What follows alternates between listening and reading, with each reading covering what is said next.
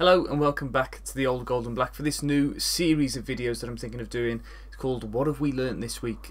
It's a new experience now in the Premier League and we're discovering new things. It's changed since the last time we were in the Premier League. So this is just what I've picked up from what's different about the Premier League or what I've seen from the Wolves team going forward. Uh, so if you're interested in seeing more of them, then subscribe to the channel so you don't miss out on those. And also like the video and everything else, share it to everybody. A couple of other things as well. If you just check out the links in the description down below, I'm running the Banks' 10k in a couple of weeks for cure leukemia. So if you've got any spare change that you could donate, that would be very much appreciated. And also there are links down below for blood donation and the bone marrow register, which if you're interested, I'll put a little link to a video uh, that I've done in the past about that there. So the first thing that we've learnt this week is that Wolves can compete in the Premier League. I think last time it was very much backs against the wall, trying to get points any way we could, but this time we seem much faster to the ball, we seem stronger in possession, and we seem like we can create more chances on a consistent basis. It wouldn't surprise me that on Saturday, even against Manchester City, that we will get opportunities to score but what we're lacking at the moment is just to take those opportunities, which will come, I think, against probably some of the lesser teams in the league in the next couple of weeks. But hopefully, they'll start coming. We'll start sc scoring goals on a more consistent basis. We've controlled long periods of both of the games that we've played. We've been had the opposition down to ten men as well, but just failed to take those opportunities to get points on the board. The second thing is João Moutinho is an absolute passing machine. I really, really like him as a player. He's understated. I think he's constantly working hard.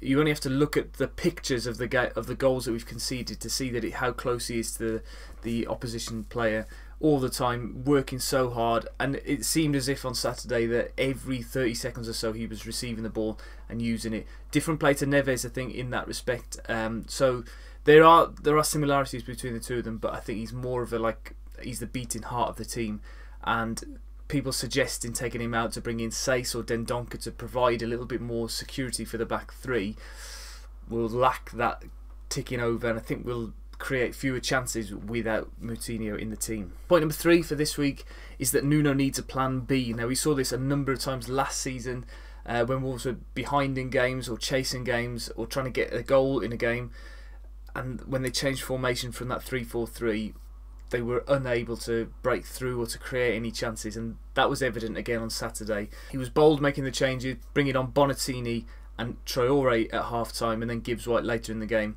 Perhaps when Cavaleiro is back fit as well, it will have more options on the bench. But we changed to have either Jimenez was out wide or they were playing two up front and Bonatini was the main man and it, it didn't really work, and that's something that I thought would have been worked on over pre-season. He's stubbornly stuck to this 3-4-3, whereas if you watch a team like Manchester City, they will flip between three or four formations in the same game and confuse the opposition, and that's something that I think needs to be worked on as we go forward, because we will struggle in games more this season than last season, and we need to have a way of getting back into the game, and it doesn't work at the moment the way that Nuno changes it.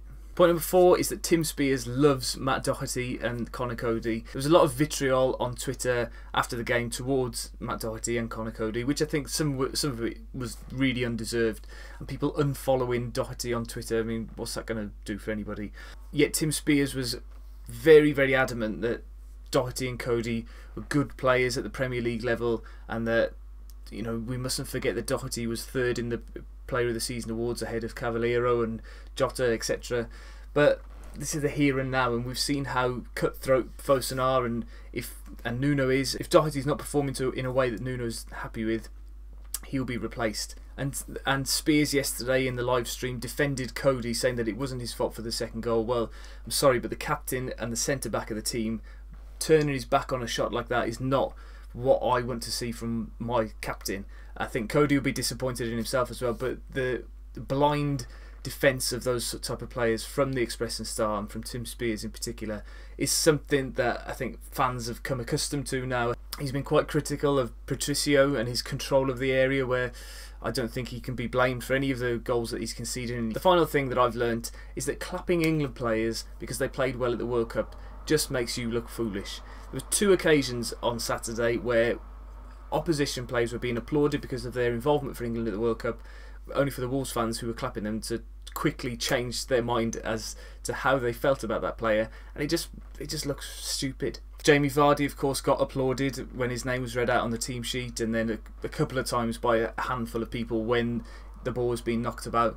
But then he goes and clatters Matt Doherty, nearly broke, breaking his leg, and then everybody suddenly changes and sh shouting abuse at him. Similar with Harry Maguire, being clapped regularly during the game, and then when he comes to waste time down in the corner in the last couple of minutes, there's vitriol from the same people. I'm aware that England fans are very happy with the way that they performed at the World Cup, which is fine. I've got no problems with that at all. But now they're Leicester players or they're Man City players. We're going to see John Stones and Kyle Walker at the weekend. Are we going to be clapping them if and then one of them score or one of them breaks Jota's leg or something? I think it's it's over now. The World Cup.